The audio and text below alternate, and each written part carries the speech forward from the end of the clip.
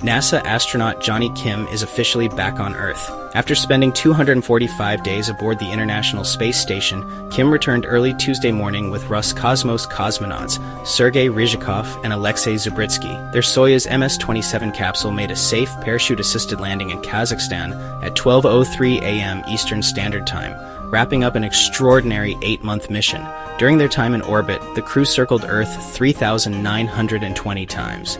This was Kim's first spaceflight, and he packed it with groundbreaking science, studying how bioprinted human tissues behave in microgravity, testing remote robotic control for future exploration missions, and even helping develop DNA mimicking materials that could transform medicine back on Earth.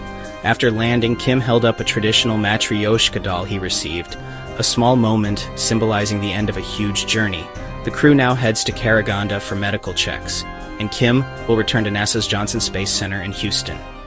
Missions like this show why the ISS remains such an important testbed for long-duration spaceflight, commercial innovation, and preparing humanity for Artemis missions to the moon, and eventually human footsteps on Mars.